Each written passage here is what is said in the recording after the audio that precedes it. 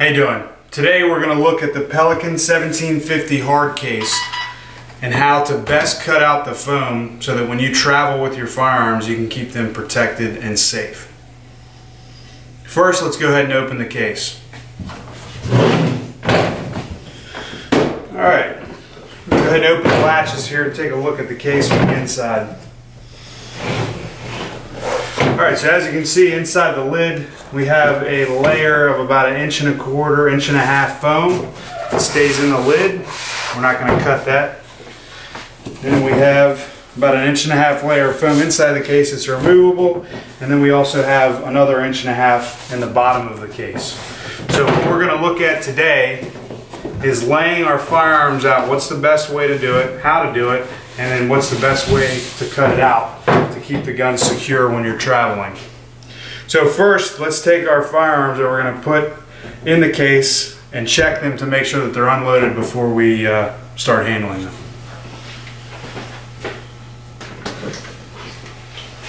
Okay, so we've got two AR-15s. I've already got the bolt locked back, so I'm going to inspect it. No magazine. Uh, first thing I want to do here is make sure that my sights are folded down.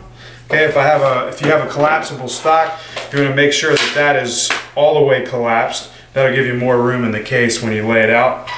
Um, also, probably make it a little bit easier if you go ahead and take any harnesses that you have off and uh, we can revisit that later how to store that in the case as well. So I'm going to take the single point harness off. So this is going to be the first rifle that we lay out. We're going to put two rifles, AR-15s, in this case, as well as one pistol and two PMags, if we have any room left.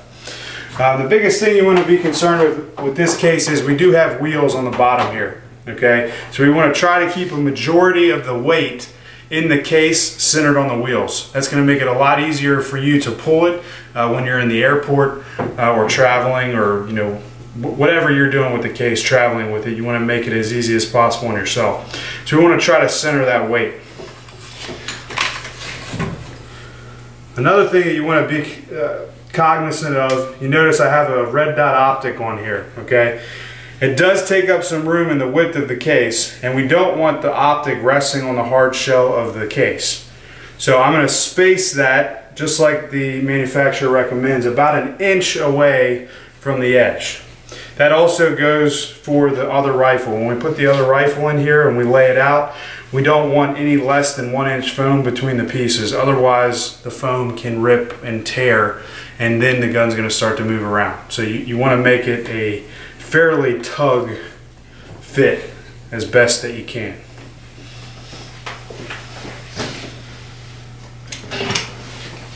Here's the second rifle. The bolt is locked back on that. It's inspected. New magazine. Again, we're going to go ahead and take this harness off as well.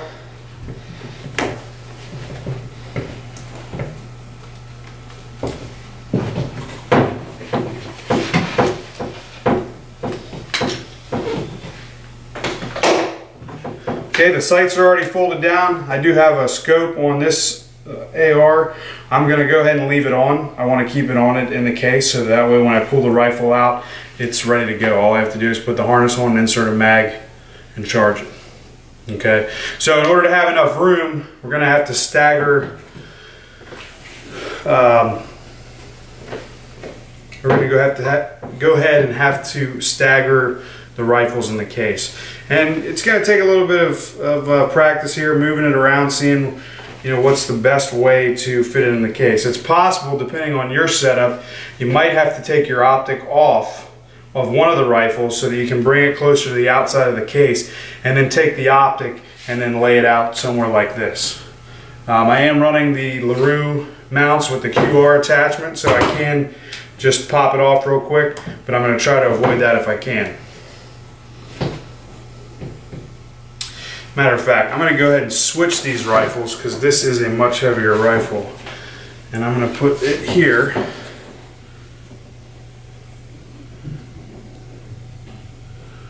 See if that works better. Yes, that works. That works much better.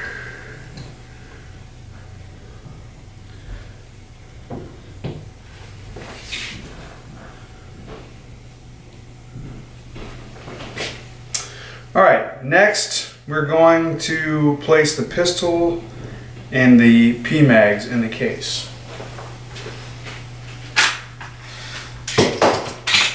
This is my carry gun, so actually I did have it loaded.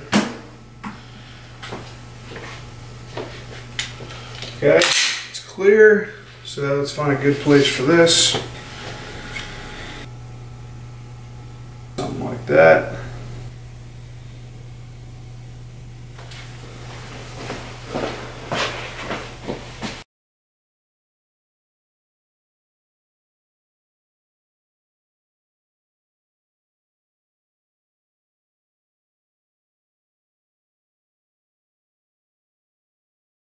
PMAG here.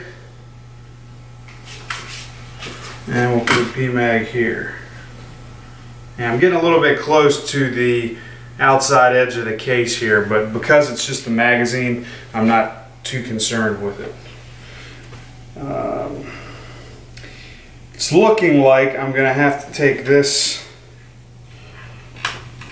forward grip off to make it fit correctly. Get the grip off.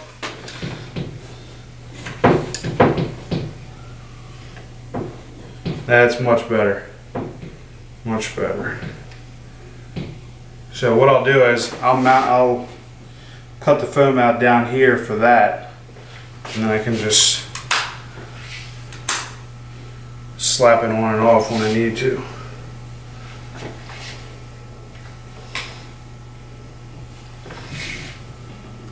I'm going to be very particular about laying the guns in here because once you once you mark it and cut it out, that's that's it. Unless you end up ordering another piece of foam from Pelican. All right, so we've got everything laid out fairly nice here. So now we are going to get set up so that we can cut it out. So the first thing you want to do, uh, the manufacturer recommends to use a piece of chalk. That way, uh, once you cut it out, you can just wipe the chalk marks off the foam. Uh, reason being, when you when you mark this, you want to stay as tight as you can, but then you're going to cut either right inside the line or up to a quarter inch inside the line. That way, when you cut it out, the gun has a nice snug fit in the case. So, if you use a marker, uh, not not a big deal, except you will uh, you will see it on one side. So what we've done here is we've laid it out in this configuration. After I mark it, I'm going to use a marker and then cut it. I'm going to flip the foam over. That way we don't see any of the markings. It's face down. Another important thing to note here, you want to save all the pieces. So you don't want to cut them out you know, in an X pattern or cut chunks out. You want to make nice, smooth cuts at a 90 degree angle to the foam with an electric knife like you would use to carve a turkey or a chicken. That way, uh, you're not sawing at the foam. It gives it a nice even cut straight through the foam. You're at 90 degrees and you can save those pieces. What that allows you to do is you can put, um, take this, this layer out, take that bottom layer out, then take the layer that you've just finished cutting out in the bottom, put your inserts that you've cut out back in, and then take your other two rifles or you know two more shotguns or whatever it may be, and then lay it out. That way you have it set up to carry multiple firearms. And then depending on what you're going to use that day, you can just switch the layers in the case in order to accommodate what you want to travel with.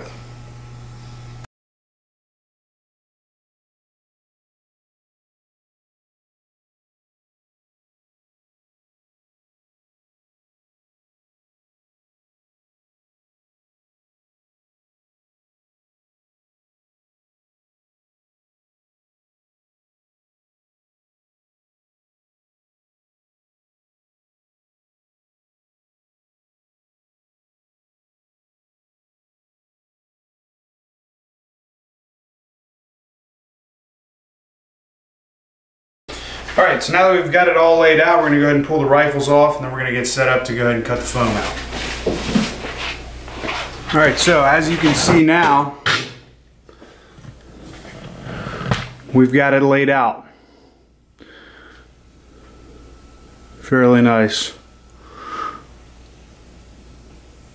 So, what we're gonna do here is we're gonna cut a quarter inch inside these lines or right inside the line and it's going to be one continuous flowing cut 90 degrees perpendicular to this foam. Because we want a straight cut going all the way through so that when we place our item in the foam it goes all the way down and sets inside this layer of foam. We don't want it pushed to the top and then having to jam the lid down hard on the firearms all right, so we're back. We're ready to cut the foam out. So first thing we're going to do here is we're going to remove this layer from the case. We're to go ahead and close the case up so it's inside here. Now one of the important things when you're cutting this out is having a weight on here. So I've got some old 50 pound plates here. We'll put one on this end.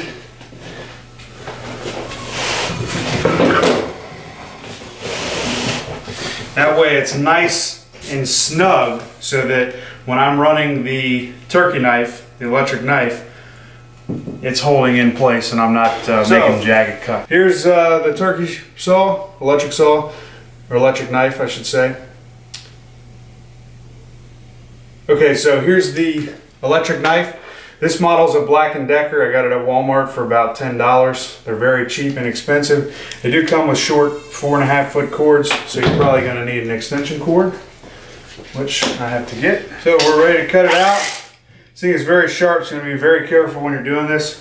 If you have it available to you, it might be a good idea to uh, get some help uh, holding this. That way you don't cut yourself.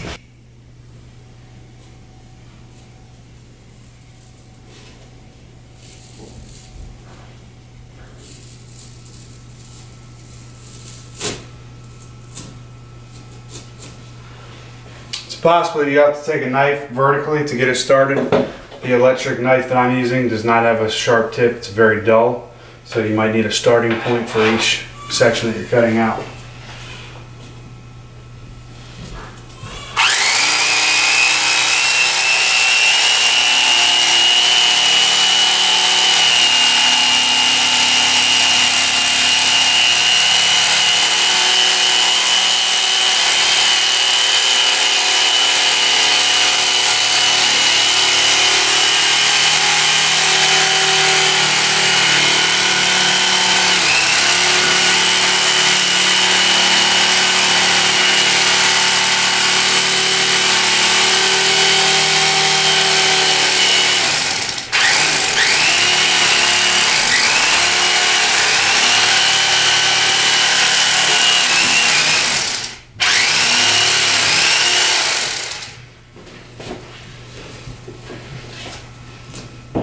Alright, so there's the first one, and again, I'm gonna save this because I wanna be able to put that back in the case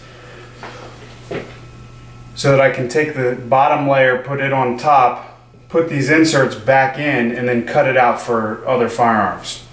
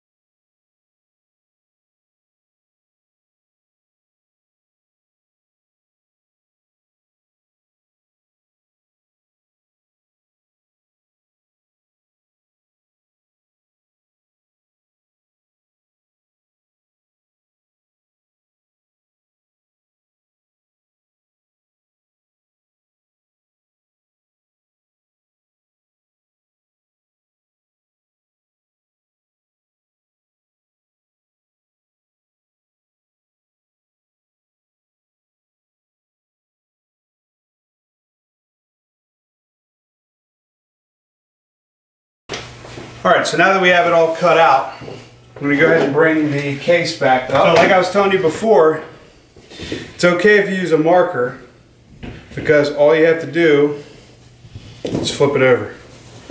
Now the marks are all on the bottom and you can't see them and we have a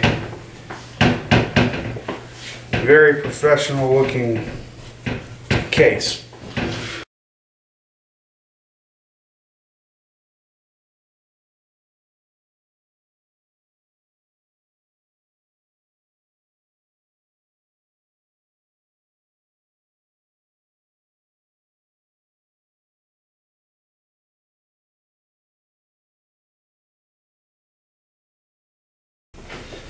And there you have it.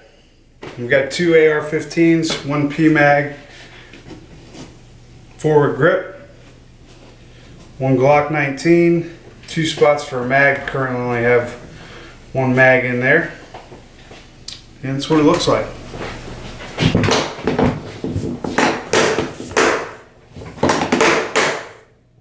Shuts nice.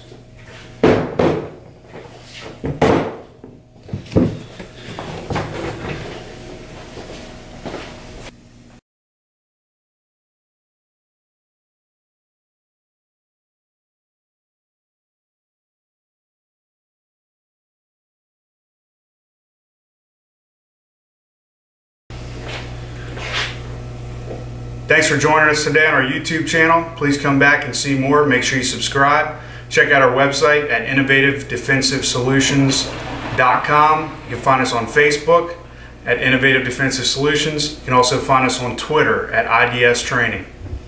As always, train real, train hard, train often. Realistic training for real life.